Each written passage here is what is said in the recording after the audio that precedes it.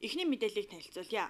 Хөсгөл аймгийн хэмжээнд ургац хураалт 74% та явагдаж байна. За 10 дугаар сарын дундуур гэхэд ургац хураалт бүрэн хурааж дуусна гэсэн тоо мэдээлэл гараад байна.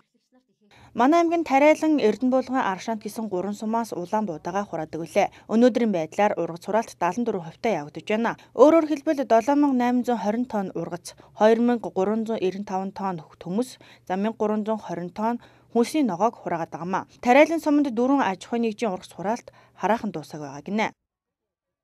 За энэ жил манай аймаг бол 14400 горонга талбайгаас ургац хураах хэвээр. За өнөөдрийн байдлаар 10681 га талбайгаас нэг 7820 тонн ургац хурааж авч байна. За энэ бол нэг гаагаас нэг 7.3 центнертэй. За ерөнхийдөө бол хураалт бол нэг 74% тэ явагдаж байна. За төмс хүнсний ногооны хувьд ерөнхийдөө бол одоо хураалт үндсэндээ бол дуусч байгаа. Зүгээр хамгийн гол нь бид нар одоо мэдийг авч нэгтгэх юм ажил байна.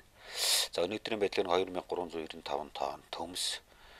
За 1323 тонн хүнсний ногоо хороож авсан байгаа.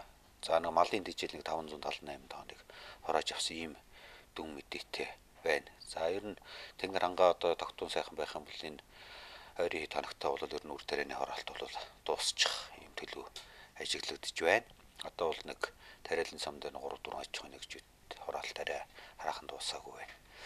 Ингээд яг бид нар ер нь хамгийн гол нь одоо ургацаа хурааж яваа түүнийгээ цэвэрлж одоо бас дугаарлж яваа. Тэгээд одоо гурлийн үйлдвэрүүдэд болон тариалан эрхлэлтийг дэмжих сандаа бол одоо туших ажил бол хийгдэж эхэлнэ.